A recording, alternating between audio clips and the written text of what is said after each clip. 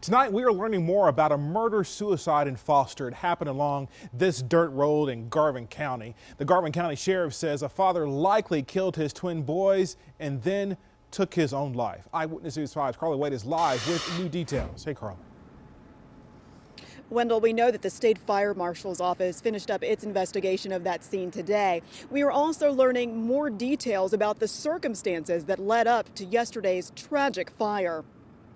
No one really knows what may have led to this tragic scene in the tiny community of Foster that left volunteer firefighter David Abels and his two sons dead, an apparent double murder suicide.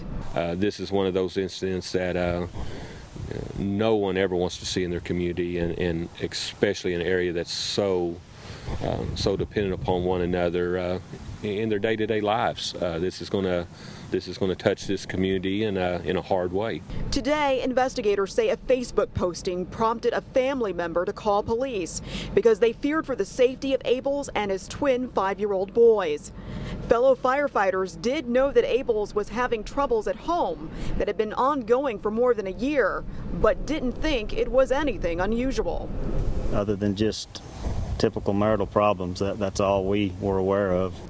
Court documents show Abels was married in 1997. Investigators say he and his wife are separated and that he had attended a court hearing with his estranged wife on Friday.